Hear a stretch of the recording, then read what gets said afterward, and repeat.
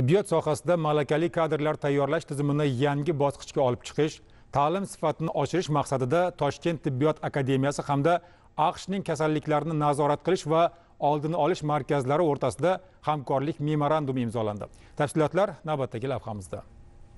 Bu memorandum doirasida biz ular bilan hamkorlikda maxsus bir e, magistraturaga dastur tayinlash E, modul deb e, uni e, nomladik. Bu modul asosida barcha bizga magistraturaga kirgan talabalarimiz ilmiy izlanishlar bu nima?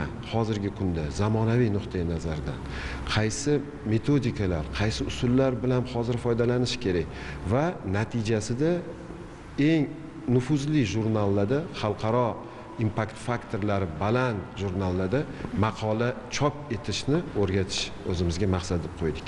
Hamkorlik doirasida tibbiy ta'lim va tadqiqotlar sohasida amerika qo'shma shtatlarining yetakchi universitetlari va tibbiy markazlari bilan ilmiy aloqalar o'rnatiladi. Eng yaxshi ilmiy tadqiqot muassasalari xalqaro standartlar talabiga javob beruvchi ilmiy asoslangan ta'lim modullari va fanlarni ishlab chiqish orqali yangi ta'lim dasturlarini yaratish mavjudlarni takomillashtirish kabi ustuvor maqsadlar amalga oshiriladi.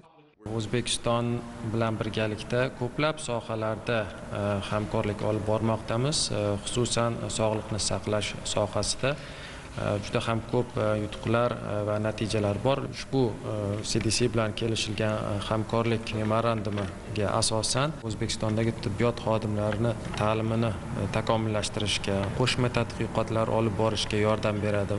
Ma'lumot o'rnida amerika qo'shma shtatlarining kasalliklarni nazorat qilish va oldini olish markazlari cds sog'liqni saqlash agentligi hisoblanadi va tizimni har taraflama takomillashtirish bo'yicha chora tadbirlarni amalga oshiradi. Tadbir davomida amerika qo'shma shtatlaridan kelgan professor o'qituvchilarning tibbiy ta'lim oldida turgan bir qator dolzarb mavzularga bag'ishlangan ma'ruzalari tinglandi.